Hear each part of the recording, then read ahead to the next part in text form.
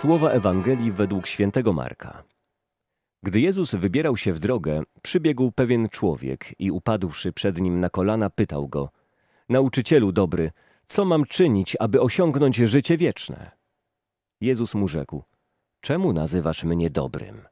Nikt nie jest dobry, tylko sam Bóg. Znasz przykazania: Nie zabijaj, nie cudzołóż, nie kradnij, nie zeznawaj fałszywie, nie oszukuj czcij swego ojca i matkę.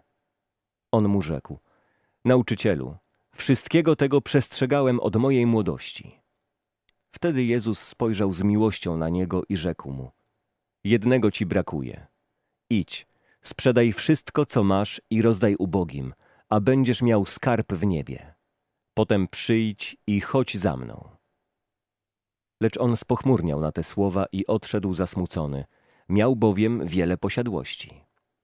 Wówczas Jezus spojrzał wokoło i rzekł do swoich uczniów: Jak trudno jest bogatym wejść do Królestwa Bożego. Uczniowie zdumieli się na jego słowa, lecz Jezus powtórnie rzekł im: Dzieci, jakże trudno wejść do Królestwa Bożego tym, którzy w dostatkach pokładają ufność. Łatwiej jest wielbłądowi przejść przez ucho igielne, niż bogatemu wejść do Królestwa Bożego.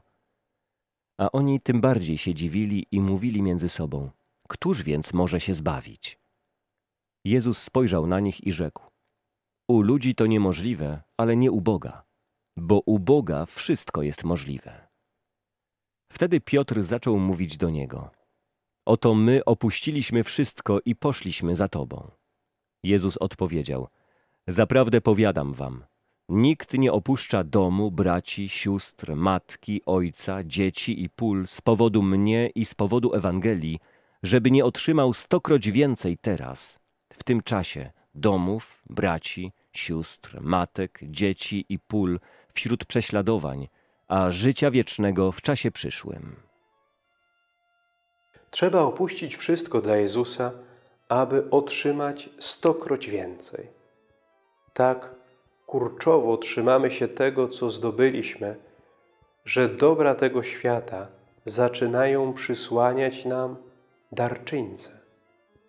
Nic nie może stać wyżej od Boga.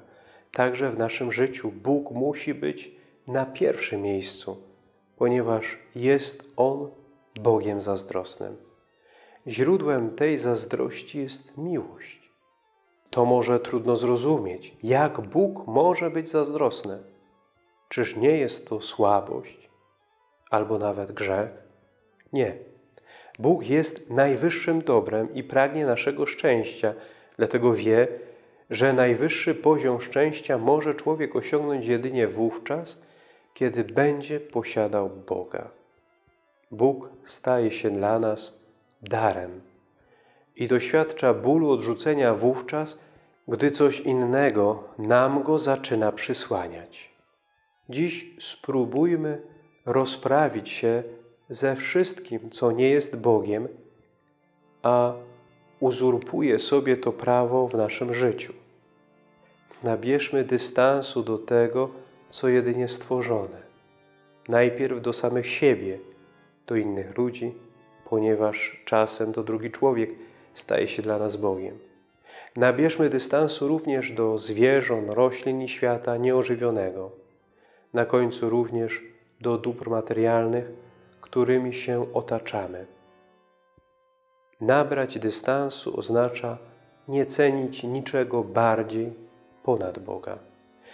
Wyróbmy w sobie zdolność stracenia tego, co dla nas ważne, aby zyskać coś o wiele cenniejszego. Droga ta jest pewna i sprawdzona. Poszli nią już apostołowie i inni święci. Stopniowo oddawali Jezusowi wszystko, co posiadali, na końcu nawet samych siebie i zyskali dar o wiele większy, samego Boga. Pragnijmy świętości i nie bójmy się wszystkiego zostawić dla Boga.